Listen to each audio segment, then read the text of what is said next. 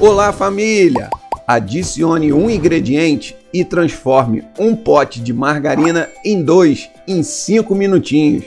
Não mudem nada o sabor e eu acho que fica até mais gostoso.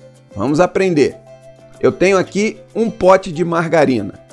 Gente, como nós vamos transformar um pote em dois, é necessário que você use uma margarina de boa qualidade, ok? Quanto melhor a marca, melhor vai ficar a nossa receitinha. Agora aqui eu tenho a vasilha, que eu de pote de margarina, e eu vou usar o mesmo pote para medir a quantidade de leite e assim sucessivamente. Se você fizer meio pote de manteiga, coloque meio pote de leite, ok? Vamos levar isso aí para a batedeira. Coloquei aqui a minha manteiga e agora o meu leite.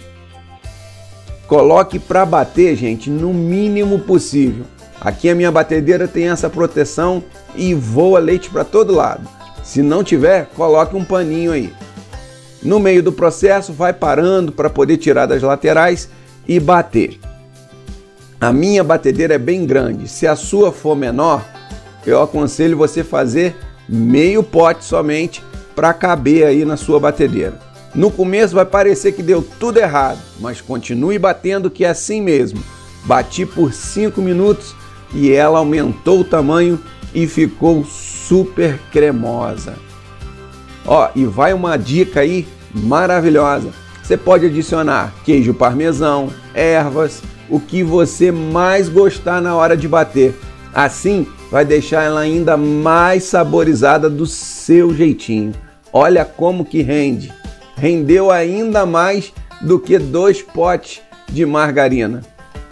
Coloquei, tampei aqui, vou deixar na geladeira que ela vai ficar ainda mais firminha. Olha só, rendeu até mais do que dois potes, deu mais uma vasilhinha aqui. Gente, é maravilhosa.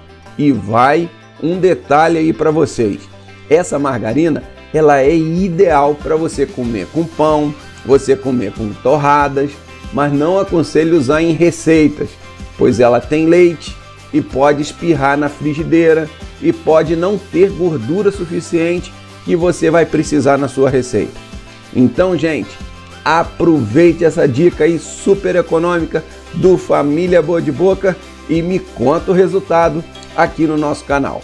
Amanhã temos um encontro marcado aqui novamente. Um grande beijo, obrigado por estar aqui conosco e lembrando, nós sonhamos, mas é Deus que realiza. Tudo de bom, família. Tchau.